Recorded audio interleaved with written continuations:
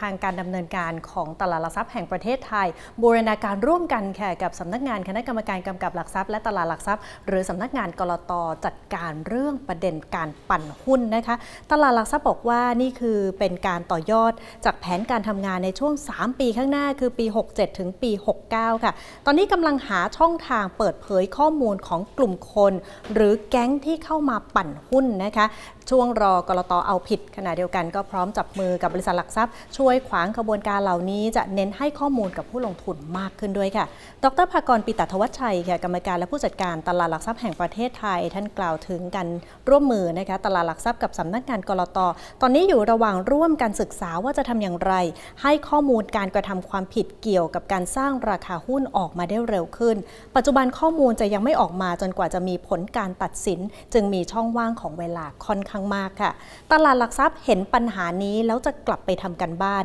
เพราะไม่ใช่แค่ตลาดหลักทรัพย์ที่จะแก้ไขปัญหานี้ได้ เพราะว่ากระบวนการตรวจสอบเมื่อพบการกระทำความผิด กฎหมายระบบนี้ก็ให้รวบรวมข้อมูลส่งให้กรตตรวจสอบในเชิงลึกนะคะ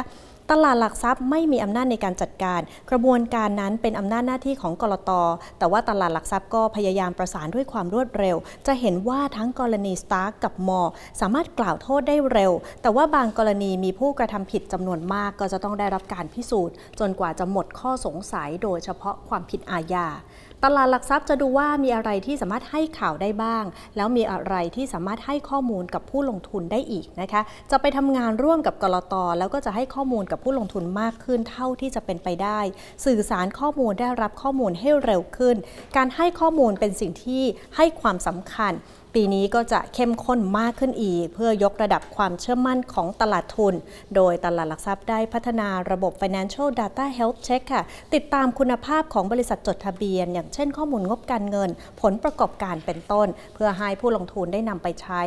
นอกจากนั้นในปีนี้ค่ะตลาดหลักทรัพย์ก็จะหารือร่วมกับสมาคมบริษัทหลักทรัพย์ เพื่อหาทางให้สมาชิกที่มีข้อมูลของผู้กระทำความผิด สามารถหยุดพฤติกรรมที่ไม่เหมาะสมได้ทำยังไงให้องค์คาพยพในตลาดทุน ได้ทำในสิ่งที่ควรจะทำสอดคล้องกับสิ่งที่ที่ปรึกษาก็คือ Oliver Wyman กำลังเข้ามาดูทั้งระบบ เพื่อหาช่องทางหรือว่ามาตรการป้องกัน การทำ naked short sell ต่อไปด้วยค่ะ เอาละครับมาติดตามภาพรวมความเคลื่อนไหวบริษัทจดทะเบียนกันบ้างนะครับ วันนี้มาดูความเคลื่อนไหวกลุ่มอสังหาครับจากกลุ่มที่ถือว่าก่อนหน้านี้เองเวลาออก product มาอาจจะเป็นคู่แข่งกันใช่ไหมครับ แต่ว่าขณะนี้เองมีเรื่องราวที่น่าสนใจเลยครับของทางกลุ่มพฤกษากับทาง Origin นะครับที่ใช้จุดแข็งด้านทุนด้าน healthcare แล้วก็นวัตกรรมนะครับมาปั้นโครงการร่วมกัน 3 โครงการ เป็นโครงการยักษ์ในธุรกิจโรงแรมคอนโด แล้วก็บ้านเดี่ยวมูลค่า 8,700 ล้านบาทครับคุณอุเทนโลหชิตพิทักษ์นะครับ ประธานเจ้าหน้าที่บริหารกลุ่มบมจพฤกษาโฮลดิ้งหรือว่า PSH บอกว่าพฤกษาเนี่ยพฤกษาเนี่ยได้ลงนามในสัญญาร่วมทุนนะครับกับ 3 บริษัทในเครือ Origin Property หรือว่า Ori นะครับได้แก่บมจ One Origin หรือว่า One O นะฮะแล้วก็บมจ Park Luxury หรือว่า Park แล้วก็บมจบริทาเนียหรือว่า BRI นะครับเพื่อเป็นการก่อสร้างแล้วก็พัฒนา3โครงการในอัตราส่วนการลงทุน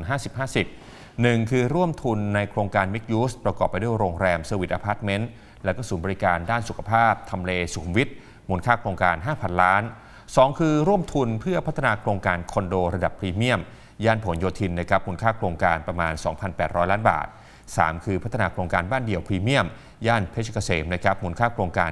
980 ล้านบาท ทั้งนี้การร่วมทุนเชิงกลยุทธ์ในการพัฒนาโครงการอสังหาครั้งนี้ เป็นข้อตกลงที่ได้รับประโยชน์ร่วมกันทั้งสองฝ่ายนะครับจะก่อให้เกิดประโยชน์สูงสุด จากการนำทรัพยากรที่ดินของทั้งสองบริษัทที่มีอยู่แล้ว มาพัฒนาโครงการแชร์เทคโนโลยีและก็โน้ตฮาวระหว่างกัน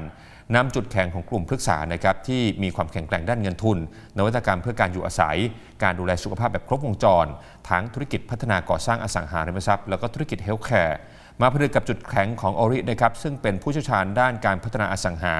ในธุรกิจโรงแรมและก็การบริการ และอสังหาเพื่อการพาณิชย์ มาร่วมกันส่งเสริมให้ทั้ง 3 โครงการนี้ประสบความสำเร็จ และได้รับการตอบรับอย่างดีครับ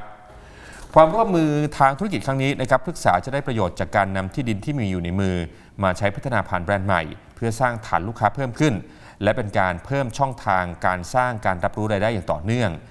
ทางคุณพิรพงษ์จรุนเอกนะครับประธานเจ้าหน้าที่บริหารออริก็บอกว่าการได้ปรึกษามาเป็นพันธมิตรร่วมพัฒนาโครงการต่างๆ จะทำให้เกิดการแลกเปลี่ยนนวัตกรรม เทคโนโลยี องค์ความรู้ความเชี่ยวชาญต่างๆ ระหว่างกัน และช่วยยกระดับการพัฒนาคุณภาพการก่อสร้างโครงการนะครับแล้วก็การออกแบบฟังก์ชันในพื้นที่อาคาร เติมเต็มความต้องการ การใช้ชีวิตในแต่ละทำเลได้อย่างยอดเยี่ยม ซึ่งเป็นมิติใหม่ของวงการอสังหานะครับที่ได้บริษัทระดับท็อปนะครับทั้ง 2 ตลาดนะครับทั้ง 2 รายเนี่ยมารวมพลังกันครับ ไปดูอีกหนึ่งความเคลื่อนไหวของบริษัทจดทะเบียนค่ะล่าสุดนี้ตลาดหลักทรัพย์สั่งให้นุสาสิริชี้แจงข้อเท็จจริงนะคะในประเด็นเรื่องของการแลกหุ้นนะคะหรือว่าแชร์สวอปนะคะกับ WEH หรือว่า Win Energy Holding ด้วยนะคะก็ประเด็นเหล่านี้จะส่งผลกระทบต่อการดำเนินงานของบริษัทจดทะเบียนค่ะ ตลาดหลักทรัพย์ขอให้นุสาสิริค่ะ ชี้แจงข้อเท็จจริง กรณีบริษัทยื่นคำฟ้องต่อศาลขอให้เพิกถอนสัญญา ที่มีผลต่อสถานะการเป็นผู้ถือหุ้นของนุสาสิริรายการดังกล่าวอาจจะมีผลกระทบต่อฐานะการเงิน และผลการดำเนินงานของบริษัท รวมทั้งสิทธิ์ของผู้ถือหุ้นของนุสาด้วยค่ะ ตลาดหลักทรัพย์ขอให้นุสาสิริชี้แจงข้อมูลผ่านระบบเผยแพร่ข้อมูลของตลาดหลักทรัพย์ ภายในวันที่ 25 มกราคม 2567 นี้ ตามที่นุสาแจ้งว่า 18 มกราคม 67 ได้ยื่นคำฟ้องต่อศาลแพ่งขอให้เพิกถอนสัญญา ที่นุสาสิริเป็นผู้ถือหุ้นของบริษัท Win Energy Holding จำกัด หรือ WEH ค่ะ และผู้ถือหุ้นของ WEH เป็นผู้ถือหุ้นของนุสาก็คือแชร์สวอปนะคะคือการแลกหุ้น หากศาลมีคำพิพากษาตามคำของนุสาก็คาดว่าจะส่งผลให้บริษัทธนา Power Holding หรือ TNH ไม่มีสถานะเป็นผู้ถือหุ้นของนุสาสิริตั้งแต่ต้นก็คือร้อยละ 10.13 ของทุนชำระแล้ว เพราะว่าไม่มีกรรมสิทธิ์ในหุ้นของ WEH และนุสาสิริต้องปรับปรุงงบการเงินในส่วนของเงินลงทุนใน WEH คือร้อยละ 21 ของสินทรัพย์รวม และร้อยละ 33 ของส่วนผู้ถือหุ้นนะคะ รายละเอียดติดตามได้จากข่าวของนุสาสิริที่ปรากฏไว้วันที่ 19 มกราคม 67 ค่ะ โดยภายในวันที่ 25 มกราคม 2567 ให้ชี้แจงดังต่อไปนี้นะคะ คือเหตุผลที่นุสาสิริยื่นฟ้องต่อศาลเพื่อขอเพิกถอนแชร์สวอปนี้ ขัดกับข้อมูลที่นุสาสิริเคยแจ้งผ่านระบบเผยแพร่ของตลาดหลักทรัพย์ เมื่อวันที่ 12 เมษายน 2565 ค่ะ ว่าไม่พบหุ้นของ Win Energy Holding ที่จะนำมาแชร์สวอปมีประเด็นที่กระทบต่อกรรมสิทธิ์ในหุ้นของ Win Energy Holding นะคะรวมไปถึงสิทธิ์ในการออกเสียงรวมทั้งสิทธิ์ต่าง ๆ ในฐานะผู้ถือหุ้นของผู้ถือหุ้นนุสาสิริที่ได้รับหุ้นจากการแลกเปลี่ยนหุ้นกับหุ้นของ Win Energy Holding มีเรื่องอำนาจอนุมัติเพื่อดำเนินการยื่นฟ้องร้องข้างต้นต่อศาลผลกระทบต่องบการเงินเองนะคะ ก็ขอให้ชี้แจงความเห็นของคณะกรรมการบริษัท และคณะกรรมการตรวจสอบในเรื่องนี้ภายในวันที่ 5 กุมภาพันธ์ 2567 ด้วยค่ะช่วงนี้พาคุณผู้ชมไปดูตลาดสัญญาซื้อขายโลกหน้านะคะ หรือว่า TFX ประจำวันนี้กันหน่อยค่ะ มีปริมาณการซื้อขายทั้งหมด 435,000 กว่าสัญญาบวกลบกันไปในหลาย ๆ สัญญา ตัว S50H24 ลงไปร้อยละ 0.86 ค่ะ ขอบคุณที่ติดตามรับชม TNN รู้ทันลงทุนค่ะ อย่าลืมกดไลค์ กดแชร์ กด subscribe ทุกช่องทางออนไลน์ จะได้ไม่พลาดทุกข่าวสารจากเรานะคะ